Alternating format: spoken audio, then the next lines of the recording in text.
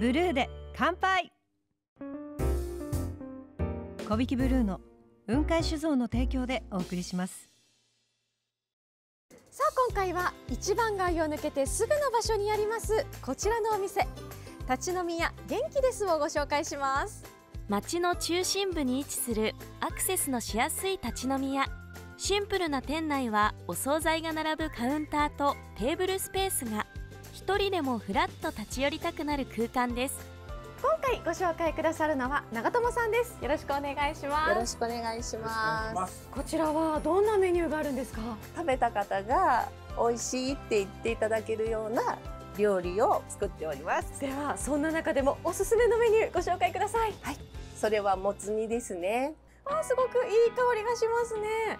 丁寧に処理したもつを味噌とだしベースで煮てあります。えー、お野菜は何が入ってるんですか？もやし、キャベツ、ニラ、あとはお豆腐ですかね。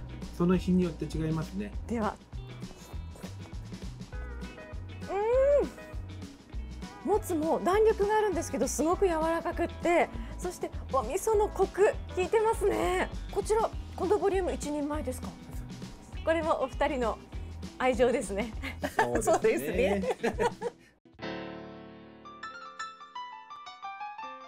立ち飲み屋元気ですの小引きブルーに合う一品は何でしょう？それは豚足皮プレス焼きです。これ初めて見ました。立ち飲みは元気ですのオリジナルですので、他の方はやってらっしゃらないと思います。これはポン酢ですか？はい。はい、オリジナルの塩もかけてありますので、はい。お好みで食べてみてください。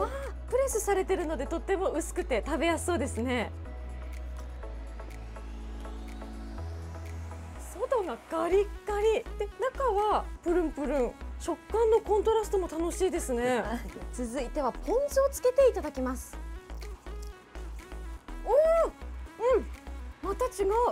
ポン酢をつけると酸味が入ってくるので油のしつこさがあっさりとなりますね。はいはい。どっちが好きかな？迷っちゃう。ではではここで小引きブルーをロックでいただきます。あ美味しいですね。豚足プレスにはすっきりした小引きブルーが最高だと思います。ここでしか味わえない組み合わせですね。そうですね。今回ご紹介した立ち飲み屋元気ですの気軽に楽しめるこだわりの味ぜひ皆さんも楽しんでみてください。それでは長友さんもご一緒に。今夜もブルーで。乾杯。立ち飲みや元気ですで使えるお食事券3000円分を抽選で5名の方にプレゼント。詳しくは番組ホームページまたは MRT アプリをご覧くださいお店の場所は一番街を抜け高松通りへこちらの看板が目印です小引ブルーの雲海酒造の提供でお送りしました。